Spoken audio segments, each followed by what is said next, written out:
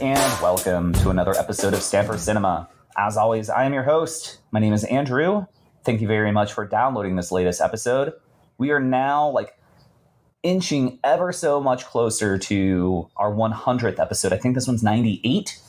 And of course, we had to bring back one of our one of our recent uh, new favorites to the show, and that would be, of course, Mr. Dylan Quarles. He'll be out here in just a second, and we're going to be talking about Gattaca, one of my favorite sci-fi flicks. I know we've already covered Starship Troopers and shit. What else did we cover last year? It was another sci-fi movie, but it's totally escaping me.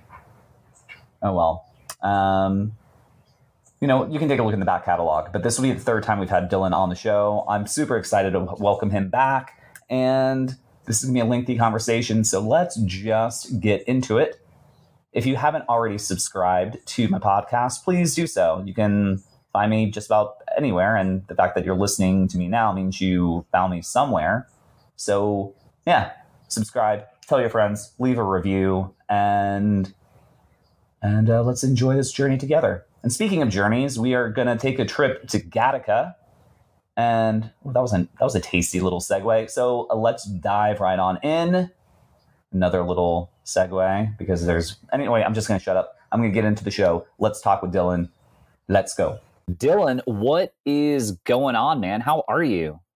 Andrew, it's so good to be back on your show. I am doing beautifully. Not quite as good as if I'd been genetically engineered to be doing beautifully, but pretty good for an invalid, I will say. Oh, look at that! You get or you get two references in like the in like the first like intro right there. I love it. I love it. yeah.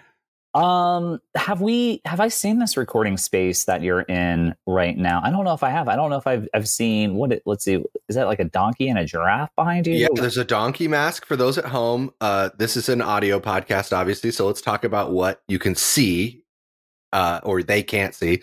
We've got a donkey, we've got a giraffe. These come from Mexico. And then right over here across my uh, other shoulder are uh, egg cartons that have been spray painted black. Oh, I have seen the egg cartons. I guess the we have new yeah, editions. I talk, I talk about the egg cartons kind of a lot. I think I, I think I'm like insecure about them, so I just try to get out ahead of it. Like, yes, listen, this is a janky home operation, and no, I'm not going to buy soundproofing paneling, even though I know it's cheap. Uh, I just, I just work with what I have. Egg cartons, which in this economy, I mean, come on, right? Yeah, for sure. Uh, so, w- what is new with you? Have you? I mean, at last we talked, uh, and this might have been like an off-air conversation, but you yourself were thinking about, you know what? I might, I might be able to get into this whole like podcasting universe. Is that ah, something like that you are working on? You're teeing me up. I I am working on it. Um, with my co-host Cameron Roberts, which is a name that will mean nothing to the world unless you're live where I live. But if you live where I live, this guy is kind of a big deal, like Ron Burgundy. No, he he owns uh, a group of bars, and they're like so cool. They're very like they're very awesome bars. You know, they're not just like they're not just like some kind of cookie cutter Applebee's welcome to the neighborhood bullshit. Like these are real deal bars. Uh, so he's a bar guy. He's also a film dude like me. And I went to film school and I'm a writer. So I think about films and I think about words and I think about things and I think too much. Uh, so we kind of pooled our talents together to, we're getting it off the ground. Uh, it's, we're tentatively calling it Barstool Film School. And the kind of thrust of the program is we will talk about films, a film each week, kind of how you do, or maybe every other week. But at the end of the episode, we'll ask each other and ourselves and anyone listening, is this a good bar movie? Because, you know, there are good mm. movies, but there are also good bar movies. And sometimes they intersect and sometimes they don't. Like uh The Godfather is a good movie. Is it a good bar movie though, no. Andrew? Not really, right? No. Like there's a lot of that so it's like what goes into making a good bar movie. That's what we're going to be plumbing the depths of uh, in each episode. We have recorded our inaugural episode. Um, Cameron then got on a jet airplane and flew off to Thailand for over a month and a half. So now he's back. Uh, his bars have a Thai, a Thai theme. His wife is Thai. They kind of do like a Thai fusion. So he went over there to do market research. I think that's what he's going to put on his taxes. Sorry, buddy. But um, now he's back. So we're back in the studio. Uh, we did Speed as our inaugural episode. So look for Yeah. that somewhere. Yeah. Right. It seems like almost the quintessential bar movie, but yeah. for our second episode, we wanted to do something funky and take like a, a complete left turn and like subvert people's expectations. You know, they think it's going to be like Face Off and T2 and Alien, and, and those movies are going to work their way in. Don't worry about it. You know, Oh, yeah, they'll be there. They have to. But we want it to be like, you know, there are other movies that don't work at your house, kind of like almost like the opposite of The Godfather, like movies that actually suck. But in a bar, they're kind of good. Like So for our Batman and Robin. Yeah, that's a great example. That could be an episode. That might need to be an episode. If it's an episode, Andrew, we should remote you in. I'm I'm I'm, I'm saying it. I'm committing you to it. I mean, Uh, anytime we'll you want, just if you ever need a like a you know just a casual like color commentary. Eh, no, that's that's more your feed. If you want just the the like the historian that tries to make the shitty film sound official, that's Hmm. that that's more me. Well, when we do Batman and Robin, Andy, you're on. So I'll take but it. for our sec for our second episode, we're we're gonna go. We're gonna take a dip into the Shyamalan waters. We're gonna go Lady in the Water because that is a bad movie. Interesting. But is it a good bar movie? I I mean, there's a lot of fucking chaos that goes on in that movie. I don't Right. know. I don't know if it's a good And bar movie. Um, you could really get into like different types of bar movies though right? Like there's the Yeah. kind like speed. Speed is the kind of movie where like if that's on in the bar if you met somebody at that bar to catch up you won't be catching up. Right. you'll be watching speed together with the closed captioning on over the bartender's shoulder. Uh lady in the water though uh that's the kind of bar movie where it's like you're watching it and you're like what the hell is going on and then like all of a sudden it starts getting like too lady in the watery Mhm, and you're like that's I, I mhm. gotta go order another round of drinks and you walk away for a bit and then you come back and you're like wait is that a dog made out of grass uh what's Bobby Giamatti doing and then you walk away and then you come back so it's like it also might be a good bar movie but just a different type of good bar movie anyway that's Yeah, what no, we're working I, I- I think it's a wonderful concept. It, it, it reminds me of a time uh, within the past 10 years. I used to live in a uh, wonderful town called Austin. And Hmm. we, my, my now wife, then girlfriend, and I, we would frequent different places around town. And there was a spot we liked. It was called Casino El Camino. Wonderful Wow, what a fucking name. What a wonderful Yeah. name. And it was a dive bar, but the best, the best burgers in Austin. And they Throwing would down the play just nothing but like drive in and campy bullshit. And Yeah. one night we were there after like going to a concert somewhere at like Stubbs, which is a barbecue joint, but also like music venue, like famous music venue in Austin. And they were playing this movie called The Hand, not to be mistaken with Idle Hands, although the premise isn't too completely is this is this the Jeff Fahey movie no. This is a Michael Caine movie. And whoa oh, we're talking like 1980 Michael Caine whoa and essentially he's a cartoonist and Huh. you know he, he he he- he's a cartoonist. He he draws he uses his hand but he and his mm. his wife who are going through maybe a separation they don't know they're getting in an argument and they're driving along and there's this car honking behind them and he's like just go around go around. And then they they get into this horrible car accident. He loses his hand Wow. and as a cartoonist that's his whole world um but he gets like these phantom like dreams and no, they couldn't find the hand. They, they they couldn't like the hand just disappeared. It's gone. They can't find Huh. it. No like it just got lopped off in wonderful like 1980s special effect and they're all like going through the brush trying to find this fucking hand. They can't find it. They But, got like the like, do the they have like the dogs out, like the sniff dogs, and like the Yeah. they're, they're forming a line and all that. Can't find his hand and he's all like distraught. But then then chaos happens with his idle hand essentially just Mm. doing wreaking havoc. And there was i mean we were at a bar watching just like what the fuck is this? Because one it was like 1980 so you have all of that which is perfect because Yeah, like campy early 80s shitty horror film. Two, it's Michael Caine with long hair, which is also just something completely insane. Michael Caine is crazy. He's one of these like Tommy Lee Jones guys. It's like unsettling to see him young. yeah, yeah, very, Yeah. very. and then you just add the fact that there's just a a walking, you know, uh thing happening in the whole movie. It's just like this hand going around wreaking havoc. And This almost seems like a spiritual sequel or a spiritual prequel to that Fahey movie I was I, I was what this movie is. The Jeff Fahey movie. It's called Body Parts. It's it's a '90s Body- movie, and I, you're on a '90s kick right now, right? I mean, I'm watching a little. I mean, we well, this is a '90s one. We we did we did a '90s. You know what?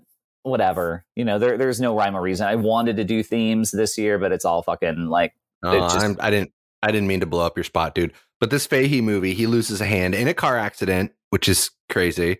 Uh, he's like a psychologist, I think, or something, like a maybe a criminal psychologist, and um, he gets he gets his he gets a hand transplant, but the hand that he gets transplanted is the hand of a serial killer that was executed on death row ooh. and he starts having like insane visions and the hand is like getting up to some some stuff um there's a, a really uncomfortable finger bang scene involving the the the transplanted serial killer hand it's a it's quite a ride um it was during that time in the 90s when jeff fahey was kind of trying to become a thing sort of around psycho 3 and all that um was it around the same time that he did the uh, Lawnmower Man? Oh, sh- I knew you were going to say that. It must be. That's a fucking hilarious. How many people on this earth, Andrew? This is why we have a friendship because I knew you were going to say the Lawnmower Man sequel when he takes over for our good friend uh, Jeff Daniels. There. Uh, wait, is he in the original Lawnmower Man, or am I having a he complete is stroke? the original Lawnmower He is Man. the original. That's right. Okay, so it's not him in the sequel. It's him in the original Lawnmower Man. I always think that's Jeff Daniels for some reason, because he's like playing basically the same character from Dumb and Dumber. He's playing Lloyd, so I I always just get that yeah, or Harry. Like you know, uh, there is definitely a conversation for the Lawnmower Man because it's fucking like bonkers because of the fact that like like Stephen King had to sue them because it had nothing to do with what his story is. Oh my Like god, the Lawnmower Lawnmower Man Man, short story. It- Yeah. The Lawnmower Man short story is definitely has absolutely nothing to do with the way that film turned out. nothing at all. It's literally like a weird dude like eating fucking grass. Um, yeah, it's like some paganism kind of vibe Yeah, or something. And then Lawnmower Man is like some like 90s virtual reality weird internet shit. Um Pierce Brosnan is just like so sweaty and shirtless that entire movie. fucking like the movie is just insane. And then of course you've got Jeff Fahey. Um you know what? I could just do just a, a non whatever episode of just us just chatting for two hours, but I do want to talk about Gattaca because of the fact that this movie is something that that I that I hold in such like high high esteem, and you kind of Yeah. teased it at the outset. But let's let's kind of segue now that we've been chatting for about ten minutes or so, and let's let's let's get into Gattaca. When Yeah. uh, when was the last time you saw this movie? Uh, be- Prior mean to before I this, prior to the rewatch. I will tell you that, but before I tell you that, I have to say to the to those listening in the world, um, you're, fans of the show, obviously, because you're here listening. Um, normally Andrew lets the guest pick the movie, but this is a stamper select. This is a Mm. stamper selection. This was your pick, man. And I love Mhm. this movie. And I'm actually really glad that you picked it because I own it. That's how much I love it. I, I have a modest DVD collection because streaming came along and, you know, annihilated owning DVDs. Um, I know there are people out there screaming in their car that you should always still buy physical media if you like it. And I agree with you, but uh, ain't nobody got time for that. So, um, but I do own Gattaca. And so to answer your question, I'm, I'm glad you made me watch it again. But to answer your question, it had been probably since about 2010 or 11 ish. I think I was trying to watch it right before the world ended in 2012. But then, um, as we all know, the world didn't end. So that year I spent just like cramming movies uh, that I was hoping to like have flash before my eyes, you know, as like the earth was blowing apart or whatever was supposed to happen in 2012. Ended up being kind of a, a wasted year, but it's all good because um, I watched so many movies that year that I sort of like forgot the finer points of Gattaca. Like you were said, you said let's do Gattaca. I'm like, oh yeah, Gattaca. It's the it's the eugenics movie. but then I'm watching it and I'm like, all this shit's happening in the movie that I completely forgot was like part a central to the plot, even or important. So, long story short, thank you, Andrew Stamper, for selecting Gattaca for this week's episode because it was a joy to watch.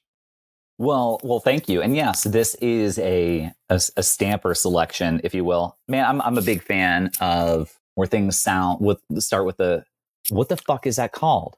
Oh, alliteration. I Thank got you. you. Alliteration. Jesus. Like I, I literally tell tell people that yeah, I I'm I'm a sucker for alliteration, so that's why I'm all this whole thing became uh came to be. But yeah, so this is also a stamper selection. Funny enough, this whole podcast came about because of COVID, sitting Yeah. around the house watching all the movies that I enjoy, but then got getting tired of watching my movies. I'm like, I'm curious to know what Dylan is watching or my buddy John Sure. is watching or whatever. So what are you watching? And the podcast came to be you choose it, I watch it, we talk about it. So therefore I would watch your movie. Great And model. it- Totally it- upended, but it's okay. yeah. Um, and for the most part, that's what this podcast has been, with with few exceptions. And and we had conversation because anytime I can bring you back to the show, because I think we've got I think we've got really good banter, and you're Mhm. you're you're you're enjoyable and you're a fun guest. And by the way, I didn't even like once once said I like your work. By the way, um, having now like read your stuff hey, like you know not to make this about hey i also enjoy your work but now that i've actually read your work I think you're pretty fucking gifted, man. I, I just gotta, I gotta say, I, like, I've told my friends, like, oh yeah, and I've, li- I've mentioned on it before. Hey, be sure to check out Dylan's work, but I've never actually told you I like your work. So, um, well, thank you, Andrew. I do it just for you. I appreciate that. I did. I, I, don't think that. you knew that, but uh, this has all been a long, long con. You've been it's been playing the going long on game. The long game. This game. has been going on since like 2010, and it's all coming together. Those who are out there listening right now, you can't see, but my fingers are fully steepled right now. Yeah. He he uh so Dylan read one of my screenplays that that I received a grant for back in like 2011 and he's like I got to be friends with that guy. And yeah, so yeah, I'm just going to write a bunch of shit. I'm not going to talk to him. And then We'll I'm going to wait for this pandemic to happen. Yep. And and then I'm going to wait for him to create a listing of like, "Hey, I would like for somebody to be on my show." And then Yeah, and only that's it. then will I reach out to him. And then I will strike. That will be my moment. And then I will Yeah. strike. I will answer that listing while I am sitting on the toilet. Yes, yes, exactly. Um, of, of just a just just a, a barrage of uh, amazing, amazing uh, history there. But getting into why we're really here today. And by the way, before you know, fuck it, I'm just going to segue again. Cheers to you. I see you're having a little something. I'm having a Yeah, little. I of course am. Always. I always am. Cheers. What is that? A little wine tonight, or what do you got? Uh, I am actually drinking Fernet Branca, which is an Amaro, I want to say. And if I'm wrong, don't send me hate mail. Don't send enough of that already. Yeah. hmm Um, it's delicious. Uh, it's refreshing, and it's alcoholic. And it kind of smells. It doesn't taste like toothpaste, but it kind of smells like toothpaste. If you're not familiar with Fernet Branca, it's like one of these amaros that has like a thousand ingredients in it that's been made by monks forever in the mountains of wherever the fuck it's like. But it's um it's a bartender's choice chartreuse because type things. Yes, but not. But yes, Yeah. but not. Uh, it's it's a it's a it's popular with bartenders. Uh, Cameron, if you're listening, and I know you are because you should be because you're my co-host. Uh, he likes it because you can um have a little, you know, while you're on the clock. Not that he ever does that because your breath doesn't smell like liquor; it smells like toothpaste. Um, it's it's got all kinds of stuff in it. And honestly, cards on the table. I'm drinking Fernet Branca right now uh, because I finished all my whiskey before we started recording. So this is what I have in the house. Oh shit. Well, I am sorry. I am drinking whiskey because we had, you know, I'm I'm a little like sentimental, and we had whiskey last time, so I'm- yeah, we sure was- did. I was gonna do a little whiskey tonight. Listen, but- I don't have a guy buying my blood to keep me in the lifestyle I need to be in. So I don't have whiskey on hand. And I know you're out there selling your genetic material to the to the less fortunate, but some of us some of us don't have that game going on, Andrew. No, no, no. Um, yeah, well, I guess this is a good little uh, moment to for a little advertisement. Shout out to my people over at Stream Lounge because they're the ones that cut me a little check so I can buy myself a little a little bottle while I'm uh, recording my podcast. what? Um, Really? You got sponsorship, dude?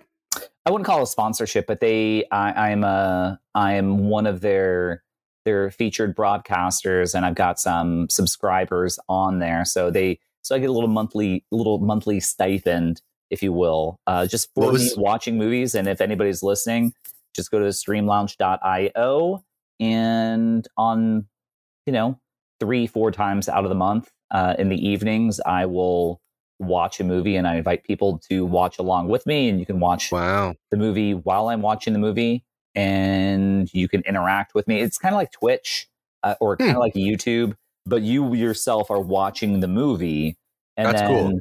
there's like a little tiny little screen on the side where you can see me talking about what you are seeing as we're watching it. Or really, just as we have this whole like Zencastr thing right there, like I'm on your big screen. You've got like like like a tiny little window of yourself, and then there's like a little chat bar. Same concept, and Wow. and it, it's great. So it works whether you've got like YouTube or HBO or Netflix or Disney or uh, Shudder or whatever, like whatever streaming platform.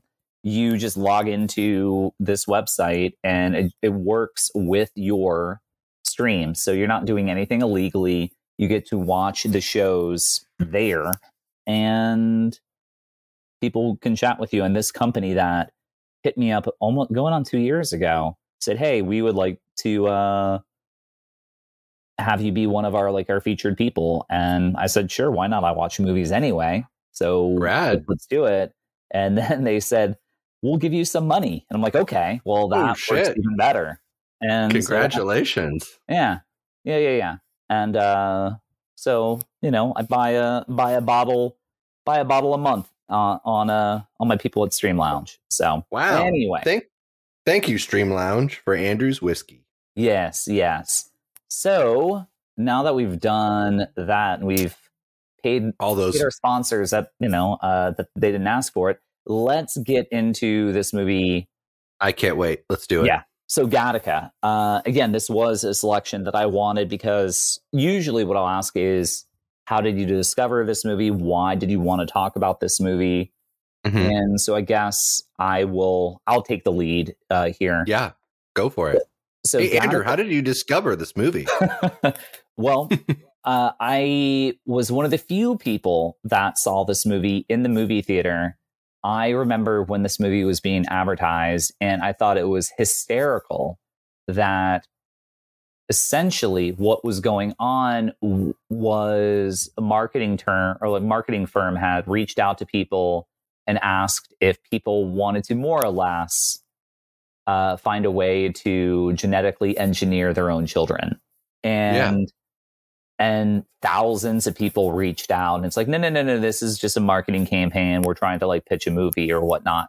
And hearing about that i'm like oh that's that's that's wonderful. I don't know if i saw it on the today show or entertainment weekly but Oh, i had wow. heard about that. I'm like that sounds interesting. I wonder what this movie is all about. Hmm. and then you find out what this movie is about and like oh this is something that i'm all about and at its core what this movie is you know we're in the not too distant future and people are essentially genetically like engineered right you can Yeah. you can CRISPR babies.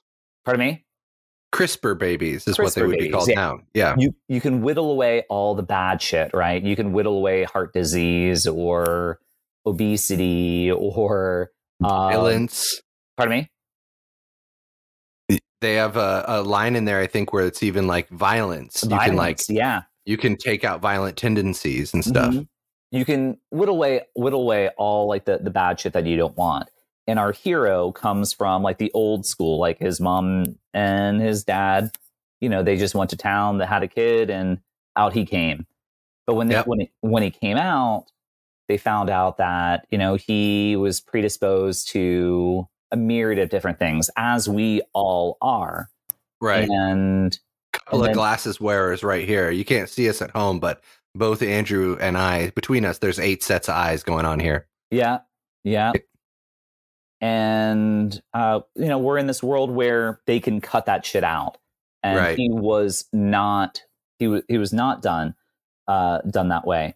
But we are now in a society where essentially the the, the finer genes have seniority and, and preference when it comes to whatever they want to do. And depending on how perfect you are, you know, the, the the more the more privileges that you have. And so right and they say they say it's illegal to Mhm. discriminate he he says it in the in the voiceover and yet everyone does it Yep. so it's like it's supposed to be illegal to discriminate on some uh, against somebody for having and i'm using air quotes here because i don't want to end up in hot water inferior genes but everybody does it Yeah. so you find yourself in this world wherein like kind of i mean there's some there's a lot of analogies going on right like for race and uh other things yeah. uh they they sort of smartly don't hit that hammer too hard on the head like i feel like if they reboot this movie um which i don't think they should but they might it they almost they will they will almost certainly cast a person of color just to really drive home like You know- the anal- the analogy that they're kind of trying to make You know, somewhere it's in this it's movie really interesting you bring that up because you know we still are just in really at like the beginning moments of trying to describe this movie. But we need to talk about if they were trying to make that today. I even reference like heart disease, and when you really think about it, there's what less than maybe five people of color in this movie, right? There's, Like, there's a lot of background characters that are, um, and like small bit players. Because I, I was kind of like weirdly hyper aware. I was looking for it to see if like the the world had moved. This future has moved past race, and they've found a new thing to discriminate against, and Mhm. it's it's the again air quotes the genetically inferior, the invalids yeah, uh, or what there's a word they have like uh like god god's hands or something like babies that are just born like they just- a godchild?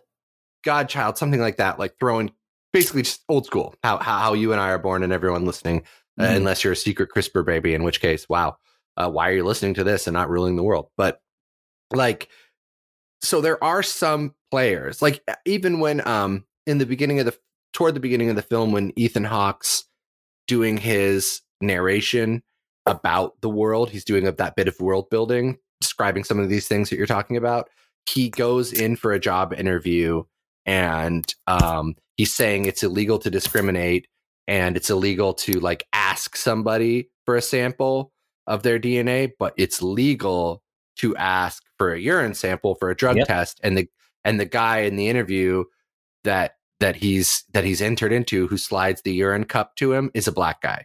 So Yeah. it's sort of like laid out right there that like now he's being discriminated against. Mhm. So like there are people of color in the film, but none of the main characters because unfortunately this I mean for this movie was is a product of its era even if it was trying to say and do things that were kind of advanced. So like of course a 90s film Mhm. is not really going to place anybody of color in a prominent role, which is a problem.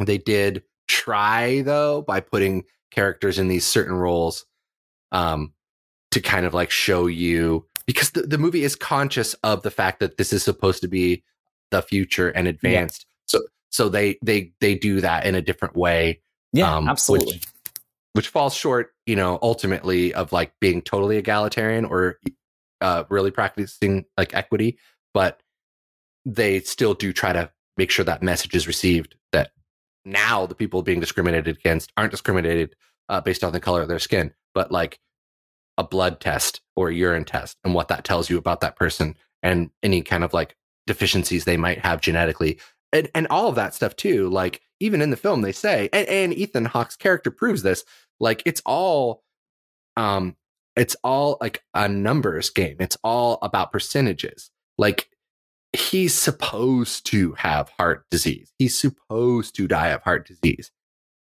As spoiler alert at the end of the film he's still alive. So you know it sort of shows the flaw in this society that Mhm. like you are depriving yourself of as a society potentially brilliant and amazing individuals because you're judging them before they even get a chance to like you know display what they might or might not bring to the table Yeah, no, for sure, for sure.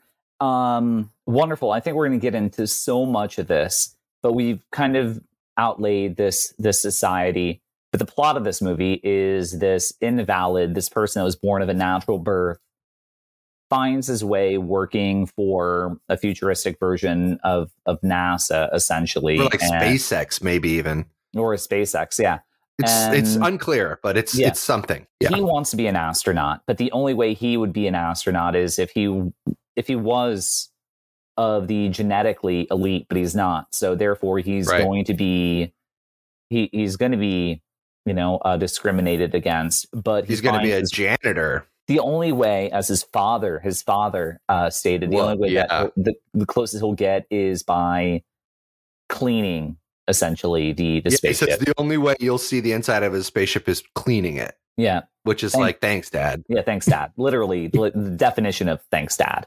yeah And he leaves home and he he makes his way actually, despite all odds. Um, eh, uh, he he finds his way actually being an employee uh, employee, and now he's on the verge. He's one week away, but you find out the reason why he's one week away is Right.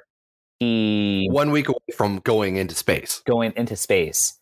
He he's goes almost on to, achieved like, the- that dream yeah the the yeah exactly uh to achieve the dream that he wants is he goes into like the the future black market and he's gonna borrow somebody else's dna and i love this whole idea pardon me I love that idea, by the way, which is like obviously the main one of the main ideas of the film, but it, it, it's what's so great about sci-fi.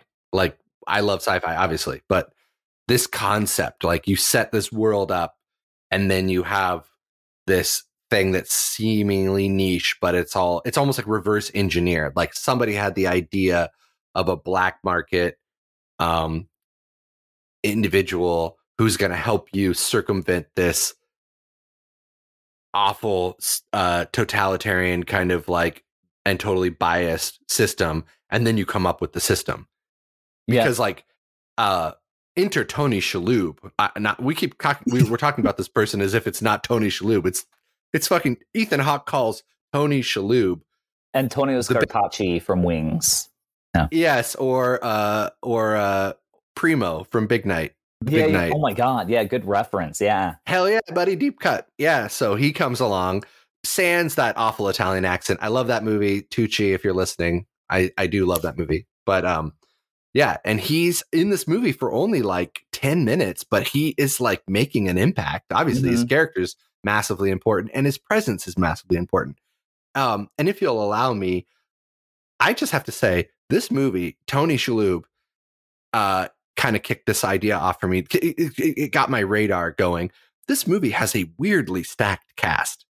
Like Oh. suddenly people are showing Alan Arkin out of Yeah. nowhere as a subordinate yeah to but that's another also- character. But I think that is like I I think he's a, a natural born. You know? I think so too. Or or like not you're like natural born and he's like cut of good stuff, but Mhm. he's not yeah, he's not he hasn't been edited like Anton, who is Right. the the lead investigator in the in the mystery part of this film and Mhm. also spoiler alert Ethan Hawke's brother bum bum bum. Which is a- Bum Bum, which is a whole thing. Uh, did you notice, by the way, when it's like early on when we're still using, um, when we're like laying the groundwork for Ethan Hawke's sort of like journey to Gattaca, which is like the SpaceX or NASA company.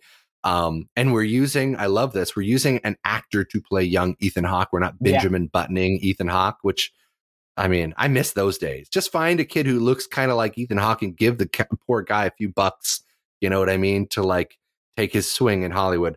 Um, but when we're doing that whole sequence, um, and he's and we're demonstrating that he's been obsessed with space since he was a little guy, um, and he's laying out all the planets and the and the and, and he's doing it to scale, like on that basketball court, like you know, and he's counting out the paces between oh this many paces between Earth and this many paces between Venus and on and on.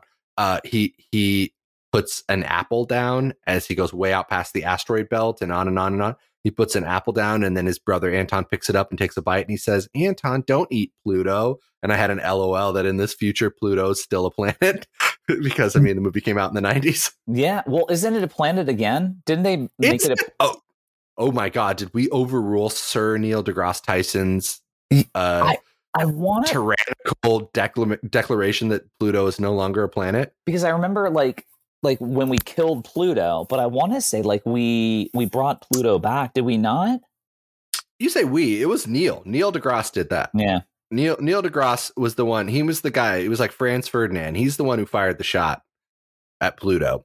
I don't know if Pluto's back being a planet or not, but it did get a hearty belly laugh from me that um, at least in this future, um, Pluto is according still to a planet. it, it- according to Wikipedia, it's you know it's at dwarf planet status.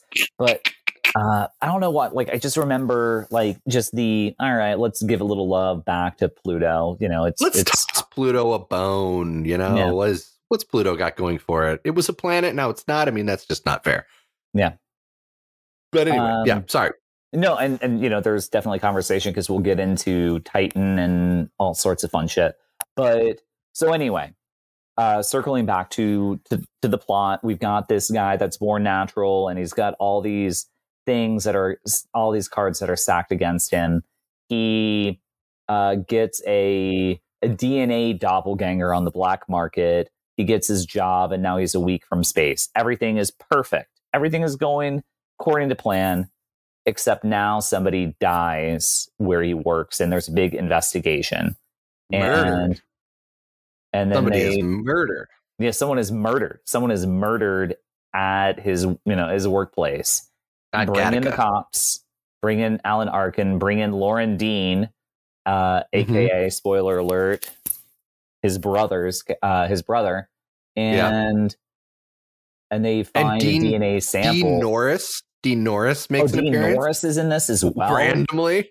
Yeah, as a Yeah, flatfoot. Yeah, you got Loren Dean. yeah. Loren Dean Norris. Oh my god, yeah. Uh, Oh my we can keep gosh, yeah.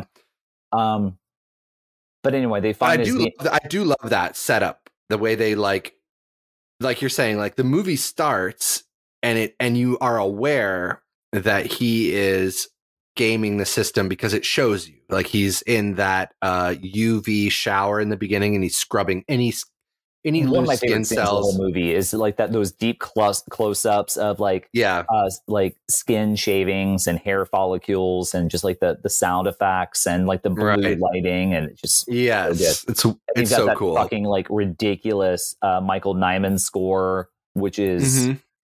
just beautiful in this movie. It's perfect. It's perfect for the movie for sure. Mhm. and it shows Ethan Hawke, you know, um, attaching like a urine bag to his leg with like a hose, presumably down his hog, and then he's got this like fake fingertip he puts on that has a little tiny blood pouch in it. So you're seeing all of this before you. So it's like they're not hiding right away. They don't hide that Ethan Hawke is an invalid, um, which is what they call people like him in this world. Um, and or at least like that's what Gattaca calls them because Mhm. Gattaca's like extra super like tight about who they allow to be part of their astronaut program. Um, but like what you don't see right away is like the whole back end of that with like Tony Shalhoub, which we already talked about, like is this black market guy and and the other major player in this movie. Um, but like I kind of love the way it's like you see his process and it almost like tricks you into thinking he's doing this all on his own. Um, because in the like I said in the beginning of the film, it's just him going through all these steps and preparing uh, how he gets into Gattaca each day without them realizing that he's an invalid. Um, because they have like a finger prick, and again, that's the fake fingertip, and it has a blood pouch, and then it kind of says, "Okay, let's back up now." Shows him he he cleans his workspace fastidiously in case he's shed at all during the day, vacuums everything up, and then he leaves fake hairs around to be found in case anybody wants to, you know, inve- like go poking around. Um, and then we have this like stop, go back, lay out the world to kind of like provide you context with like everything you've just been seeing. Uh, with the voice, I always kind of loved like the '90s were crazy for voiceovers. You really don't get it that much anymore. And there's been like a decree that came down from the king of cinema that said voiceovers are out. But the '90s were all about like the like you're like 10 or 15 minutes into the movie and then suddenly there's a voiceover um, which I'm I'm like totally fine with it. And so yeah, everything that you were describing, you know, he's a natural born baby, and yet the moment he's born, the doctors are like prick his foot and say, "Uh oh, heart disease, glasses, he's short, all these things." But then, yeah, he's had this dream of being in Gattaca, uh, going to space, and he's working at Gattaca as a as a janitor, and he has that great line of like saying to his boss, like the boss says, uh, you know, he's like scrubbing a window, a door, a glass door, and the boss says, "Don't clean it too well," and he says, "I want it to be clean so that you can someday you'll you can see me on the other side or something to, to that effect," and then he enacts that by he starts that plan into motion by yeah contacting Tony Shalhoub, who puts him in contact with none other than this movie's maybe second billed character or third. Yeah. And that very, is very young, still haired Jude Law. Yep. And doing his doing my favorite Jude Law, which is Drinking uh, and smoking. drinking and smoking. It's talented Mr. Ripley Jude Law. It's Yes. pouty, it's it's pouty, it's moody, and it's sexy. Yeah. Yeah. Yeah, he he's super super dashing in his wheelchair and just drinking and smoking himself to death.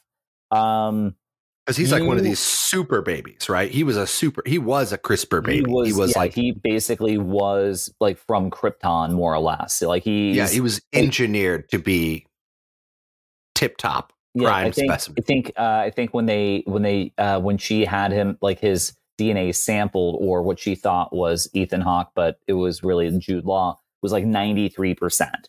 Like he, Yeah. what He's what top- that really means we don't know, but Yeah. But even uh, but even the woman doing it was like oh 93 percent. That's you know like he's a big fucking deal. Yeah. And She being Uma Thurman, yes, who is also in this movie. yeah.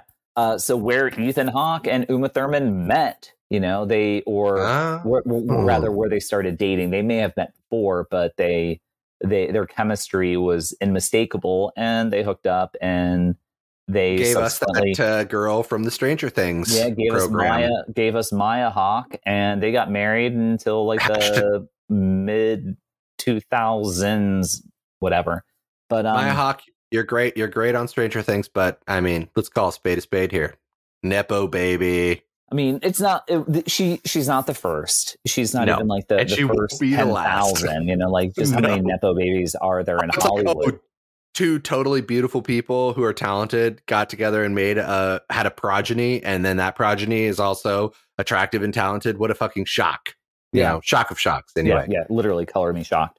Yeah. Um, I don't think there's really anything, anything else to cover in the plot other than that, we, that sort of catches us up to.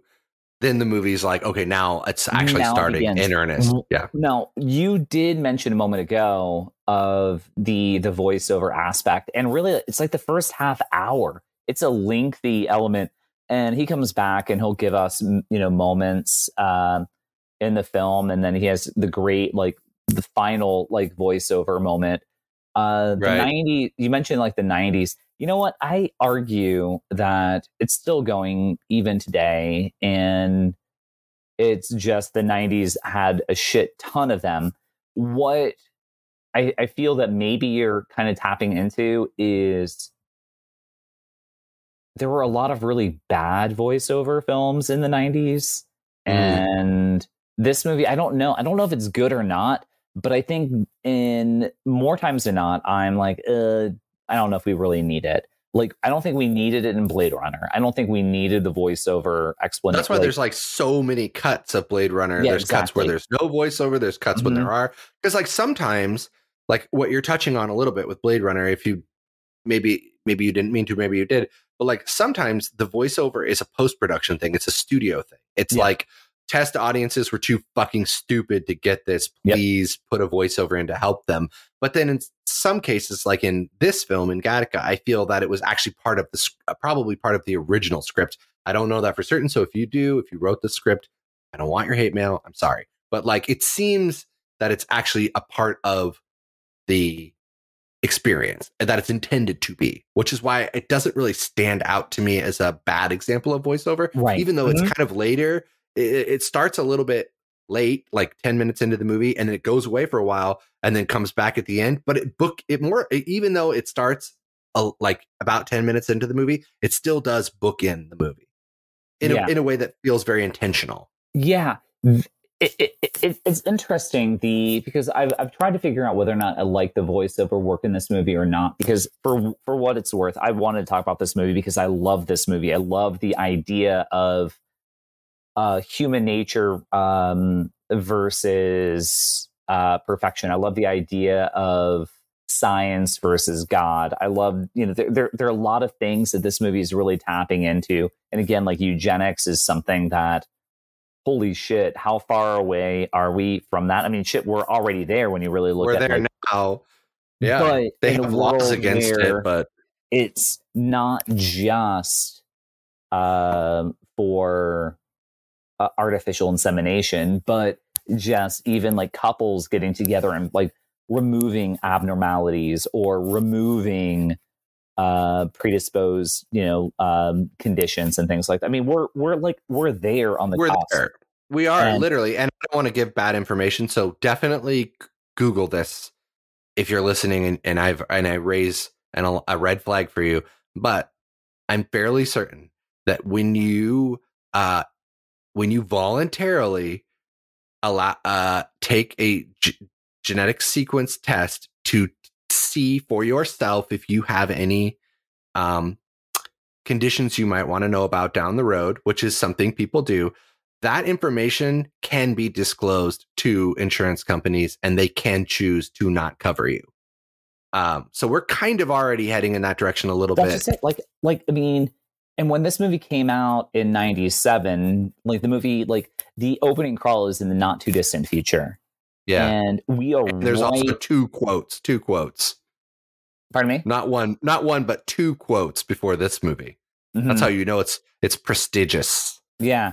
Um, I mean, we are we're right there. You know, I, I think I don't know if it was NASA, but I read something that this movie, like NASA was like, yeah, that's a pretty fucking like accurate sci-fi film. Like it was recognized as like, if not the like one of the most like plausible sci-fi films. This movie is stupidly, stupidly like right there in the point that people in science like you know what that's a pretty good fucking sci-fi movie in terms of what they're what they're trying to say and what and where we're at in society and like it's one of these it's like a it's like a canary sci-fi movie. It's like the canary in the coal mine. Like sometimes sci-fi comes out and is like hey fyi we're reading the way the wind's blowing right now and um take note because let us present to you a potential outcome yeah. if we don't course correct a bit. And the movie came out uh, shortly after, or or I'm sure it was I'm sure it was shopped around a bit, but it was written shortly after uh, the first successful genome sequencing, you know, Mhm. which took place in the 90s under the Clinton administration. So like the writer whose name escapes me right now was clearly Niccol. like, okay, so Andrew Nichols clearly like heard the news and was like immediately saw how that could go horribly wrong if the alarm wasn't sounded and then in his own way sounded the alarm because now there are actually safeguards in place like CRISPR babies in the United States at least and more or less across the world there are some places where maybe they're not enforcing these laws I'm not going to name these countries but they're the regular players um, that are supposed to scare us all in the middle of the night like you're not allowed to do that you're not allowed to do CRISPR babies, but they are kicking around loopholes where you might be able to edit out.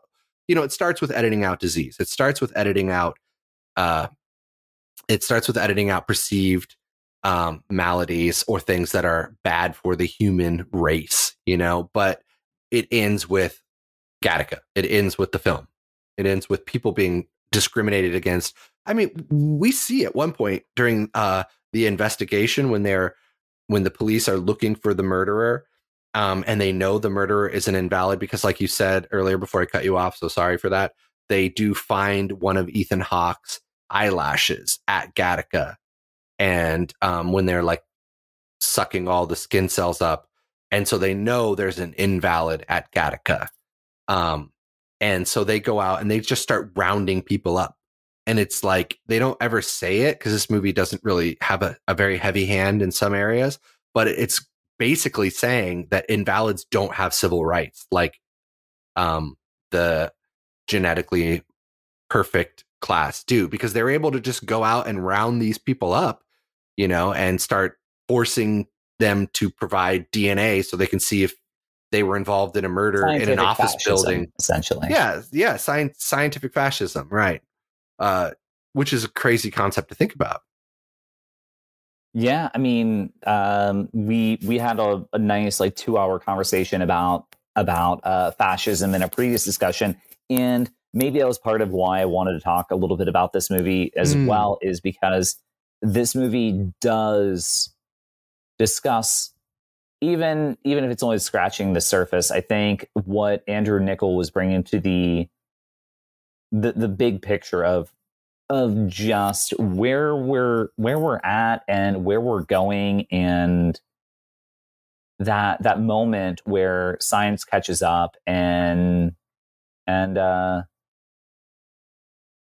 the where where it catches up it's it's like it's like about the moment where science caught up and now Hmm. we're way past that and it's like almost like you're looking back and saying oh that's the moment that everything changed but it's already passed and there's nothing you could do about it. Now like yeah. this entire this entire film at no point in the film is, is ethan hawke trying to dismantle fight or or rebel against the system. He's No. literally just trying to get away with this crime for his own like selfish um desires of going to space and i'm not like saying that he's a selfish char- he is actually a selfish character in this film oh incredibly he's a totally selfish character. He's totally singularly focused on his own desires.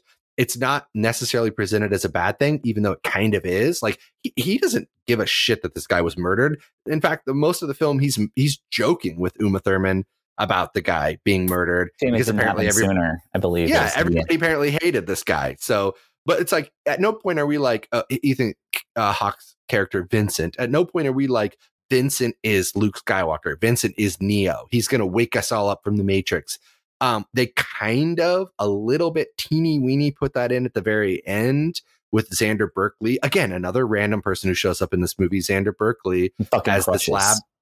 He kills it as this lab. Te- he kills it in like everything. I, I, Yeah. I love Xander Berkeley. Uh, here's a there you go. There's another connection to Starship Troopers. A guy named Xander. Uh, It must be Oh, the yeah, future. yeah yeah Um, Yeah. But he's like this test. He, he works for Gattaca and he tests people. So he like he tests Ethan Hawke every day. He tests his urine to make sure that he's valid. Blah blah blah.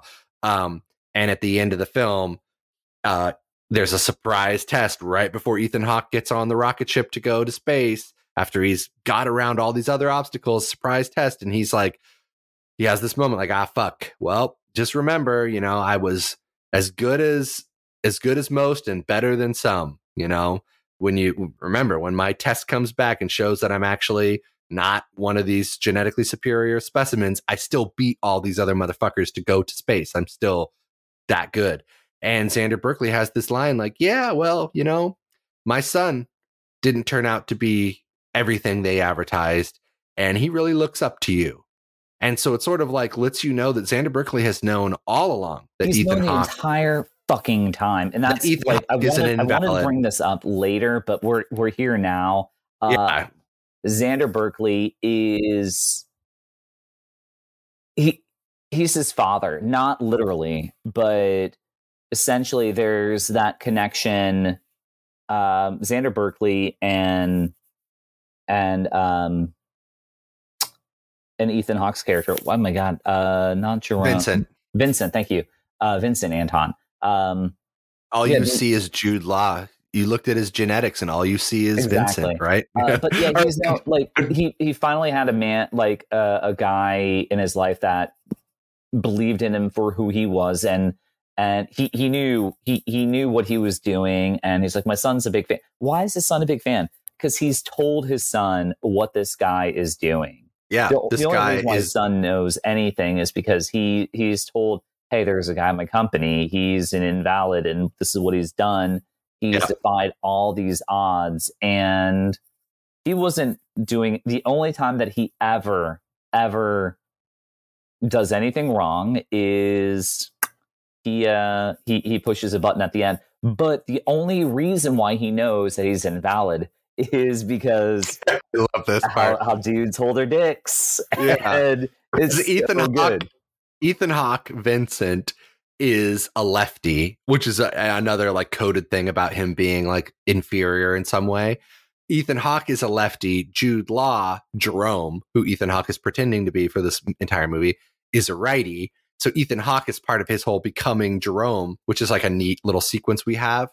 Um, is is learning how to write with his right hand to sign his name with his right hand. Uh, and there's even this like kind of weird scene, like the first time you meet Xander Berkeley, when Ethan Hawke goes in for one of his daily or weekly urine tests, and uh, Jerome says something about like, "Hey, you got a you got a nice dick," basically, because he has to like stand there and watch Ethan Hawke pee into this cup, even though Ethan Hawke has like this tube stealthily hidden he refers to it as your equipment your equipment and he goes something like hazard of the job you know i see a lot of equipment. He's like your parents got you a nice one or something to that effect. Uh so that they put that line in there. It seems like it's kind of a funny joke and then it ends up actually being important later on in the movie when xander berkeley is at the very end and ethan hawke has to do the urine sample and he's like hey i know i'm gonna fail but just remember i was great. And xander berkeley you know fudges the results for him so he can still get on the rocket ship and goes just uh for future reference, uh, righties hold, you know, righties hold their their dick with their right hand. You know, meaning that this whole time Ethan Hawke, even though he's supposed to be a righty, has been holding it with his left hand while he's providing these samples, which Xander Berkeley apparently noticed and must have tipped him off early on, uh, so that he would look closer at this guy. Or maybe who knows? Maybe he saw the the, the plastic pipe, or maybe he just knows the tricks of the trade. Because it, it is like Tony Shalhoub's character he's in business. It's a business. Tony Mhm. Shalhoub, the black market genetics guy. I mean, he says when we're introduced to him, and there's all this equipment that he gives Jude Law and um, Ethan Hawke so that they can share this identity. Um, he says, I want 25% of everything you make, presumably for life. Um, so he's in business. So there's like a booming business of these people who are posing as as as genetically superior um I, specimens they're you know sharing an identity for one reason or another in this case it's because jude law's in a wheelchair um which is an interesting little uh story inside this story uh and something that's probably meaty and we should dig into jude law edited as he is to perfection is suicidal Mhm. and has been since before the events of the film. since before. He since before. the reason he's in a wheelchair is because he stepped out into traffic. And he says he stepped into traffic knowing he was stepping into traffic. He it wasn't an accident. It wasn't oh i rolled my car i got drunk. No he walked into fucking traffic to die. And he did not die. He was crippled instead. Uh and at the end all of the because film he got a silver. because he got a silver because he didn't live up to it. So that's sort of like that's sort of like a really interesting critique of this world. It's like if you're literally engineered to be a gold star swimmer, right? He was a swimmer. Yep. And then you win a silver. What does that do? Like you have nothing to hide behind. You can't say right because you've been built to be the best. And then when you are not the best, um, there's They nothing the, left uh, the the uh, the fifth element perfect Yeah. To be perfect. Perfect. There's nothing to hide behind. Uh, Ethan Hawke has an interesting line about it later. Swimming is like weirdly important in this movie, uh, especially swimming at night. Go figure. oh my god Um, extremely great theme Night, uh, night, night swimming. But like the Mhm. idea that Mhm. like you just just because you're gene- engineered to do something, there is another component that can't be engineered, that can't be uh hacked, and that is your will, your your drive. Mhm, um, that human spirit like Ethan Hawke has a swimming contest with his brother Anton, who goes on to become this detective. Which uh, a little bit of the scientific fascist note there. His brother's black jacket is pretty long. It's getting a little long there. It's getting a little SS. It's it's it's Yeah. lengthy black jacket. This duster. Anyway, they have the swimming contest that they do as kids, and he beats his brother one day, and his brother can't figure out how he beat him um, because Ethan Hawke is supposed to be genetically inferior, right? And so at the end of the film, when they have their rematch, and again Ethan Hawke beats Anton, he says, "I beat you." And they're like out in the waves, and this is very dramatic. He says, "I beat you because I never, le- I don't leave anything left for the swim back. I lay it all on the line for the swim Right. out." Right? Yeah, I And want. that's I want. I want to. I want to talk about that because like Anton couldn't like fathom like how he beat him once before, and he's like, "How are you doing this again?" He's like, Yeah. he's like, "You want to know how I did it? This is how I did it. I never saved anything for the swim back. Right. Like just the whole the idea. Like I'm giving. Like this is it. This is all. Like and whether or not that was true, like Anton had. He was. He was afraid now and then. Right. It's almost like it made him cautious knowing that he was perfect. It kind of like knowing that there's nothing left to chance anymore doesn't allow you to gamble with chance like Mhm. Ethan Hawke does. Like, you know, he goes into space knowing he has a heart condition. He could his heart could fucking explode right Before after they leave the liftoff. Earth's atmosphere. Yeah. but he puts it all on the line. He goes through this whole elaborate ruse because he's fighting with his he's he's bringing everything to the fight with his spirit. Everybody else is bringing it with with their physical bodies and all Mhm. the importance that's been placed on that, which is like one of the very interesting uh components of the movie. You know, it's like that the difference between those two things. Yeah, I mean, there are so many ways that this movie could go, right? I mean, we we we we we've talked a little. Well, shit. Let me just get into it. This movie could be about the whole black market. This movie, could, like this sci-fi Right. film, could be a movie about about people trying to hook people up on the black mark the black market about getting Right.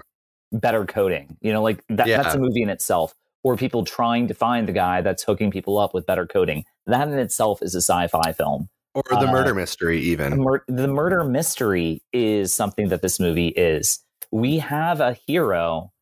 Um, this this is such a fascinating thing when it comes to sci-fi movies or action adventure movies. We always like our hero always has some type of like special birth and some something that makes him special, something that makes him stand out. What what's interesting about this movie is just how ordinary like his birth is. He's just a natural natural birth. So his his superhuman strength is by not having any superhuman strength in any capacity. His There- his superhuman nothing- strength is is leaving nothing for the swim back. yeah. Yeah. yeah, is putting is laying it all on the line, having a dream and laying it all on the line for the dream, which is like weirdly reson it resonates, you know, with Yeah. us, which is what's part of part of what is brilliant about the film, you know, is that it it resonates with us watching the film because we are not these characters who are genetically perfect. We are Anton. Or Yeah. sorry, we we are Vincent. We are We're Vincent. Ethan. we are We're, we're Ethan Hawke. We wish we were fucking Ethan Hawke. By the way, the joke, one of the big grand jokes of this movie, and this is Hollywood for you, is that Ethan Hawke is a fucking genetically inferior specimen. Okay, movie. You're like Yeah. it's Ethan Hawke. it's Ethan Um, motherfucking Hawke in the '90s. He looks like Ethan Hawke. Yeah. You know, yeah. he's got a body like Ethan Hawke, but he's got a body like Ethan Hawke. But yeah, the whole idea of you know human spirit or or free will, right? Th- I mean, the, this is what you're rooting for versus genetic engineering, right? I mean, we're Mm. we're like we we know that we are a flawed fucking entity. I mean, it's it's thrown into us when it comes to religion. You know, like dying for our sins. You're imperfect. Oh, yeah. You're like It's the- funny that no, I mean, I'm glad you brought that up because those quotes at the beginning of the movie that I kind of made like a flippant joke about. Like, normally, I, I think quotes at the beginning of a movies are not always good or necessary, and usually they're kind of pretentious. Uh, but every once in a while, I'm wrong, uh, believe it or not. Uh, so the quotes at the beginning of this movie they touch on what you're talking about exactly. So one of them is "Consider God's handiwork; who can straighten what He hath made crooked?" And it's Mm. from the Bible, right? Mhm. So th- there you go, right? Like we're talking about God making people the way that they are supposed to be made, not people making people the way they're supposed to be made, right? So but you could interpret that as you could go deeper. You could say, "Oh, the movie's saying we shouldn't fuck with God. Ethan Hawke was made the way God wanted him to be made, which is why he succeeds." You could say that if you want, but you could also go deeper. You could say, "Well, one of the one of the most uh, timeless debates to come out of Christianity is this idea between the way God makes you and free will, the way God says you should be, and the way you are allowed to deviate from that because you have free will, right? So, like in there too, God could be a metaphor for this society. It doesn't have to be God, God. Um, so there's something there to chew on if you would like. The other quote, the second quote is I not only think that we will tamper with Mother Nature, I think Mother wants us to. Um, and this is from like a, a, a, scientist named William Gaylin, Willard Gaylin. Um, and I, I, checked his Wikipedia. He's he's not a confirmed uh, eugenics guy, so I don't want to throw shade there. But it's it seems a little like we're talking about basically he, he's sort of representing cult, the culture of the film in the quotes, and then Ethan Hawke is almost more like that first quote. So I, here I am, like I wrote in my notes two quotes at the beginning of the movie, LOL and then after the movie's over, I went and I went and really dug into the quotes and was like, ah, nope, they they belong there. They should have been there. Good job, movie. Yeah.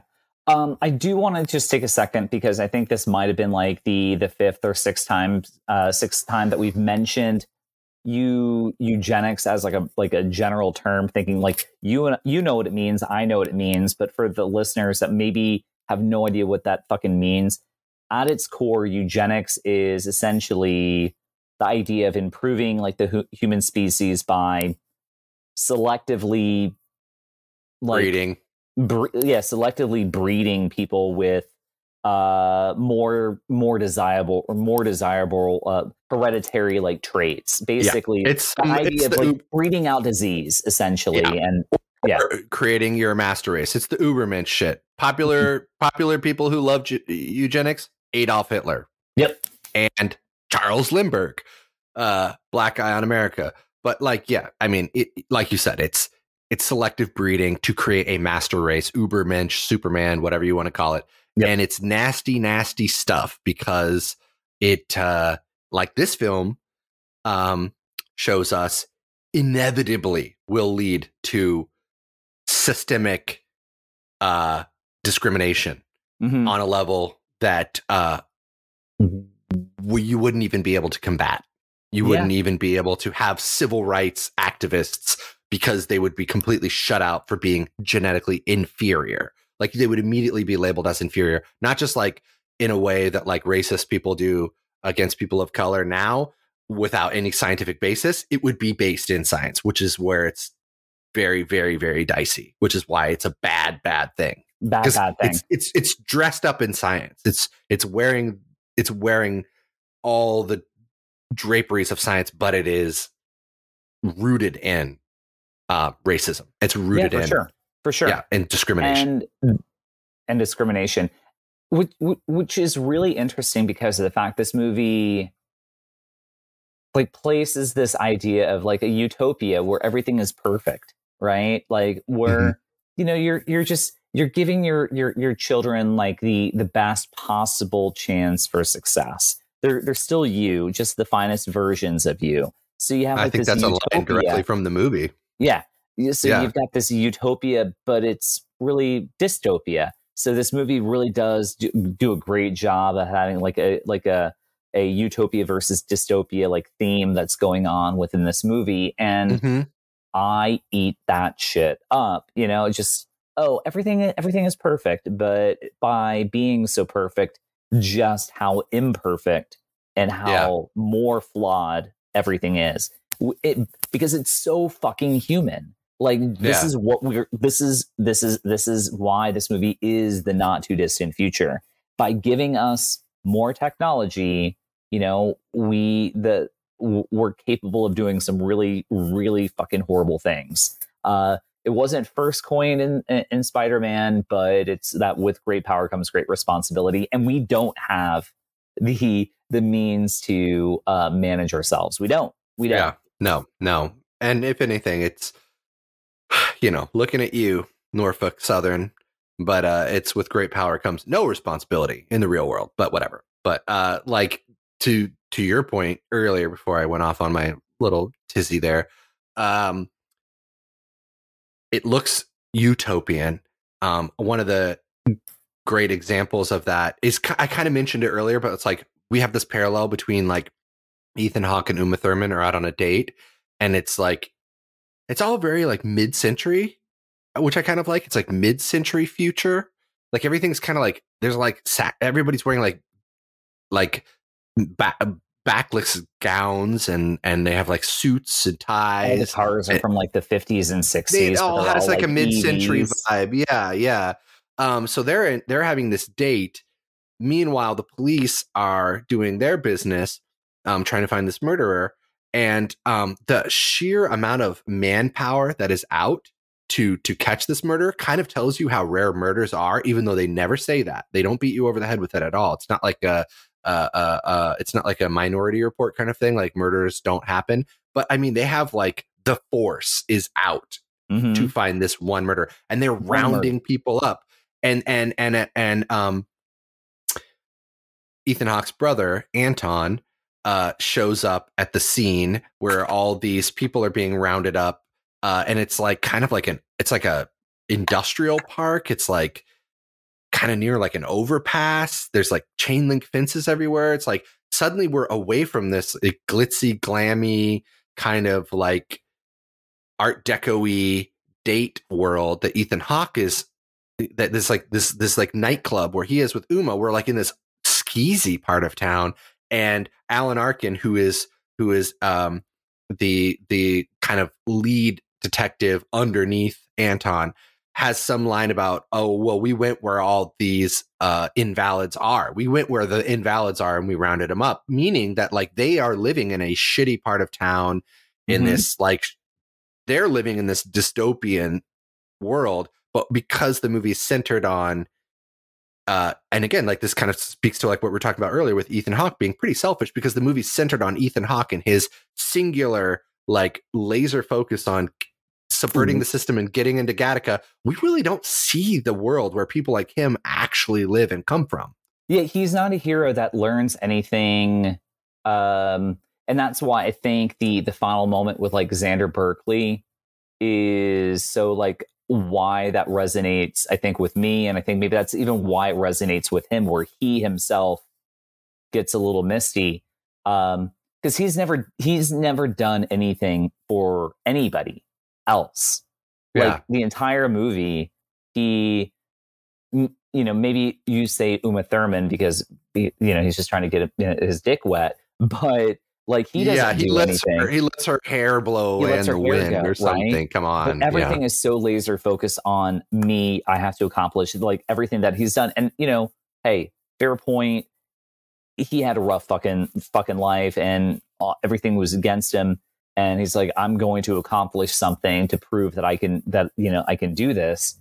But he's not saving anybody. He's not doing anything. He's not making any fucking sacrifices in this movie. It's which just is why it's like important that the Xander Berkeley scene happens, like almost from like a screenplay standpoint. Yep. Like he is redeemed through no action of his own, Mhm. but in kind of a realistic way. Like sometimes you're redeemed because other people are inspired by what you're doing, even if what you're doing is selfish.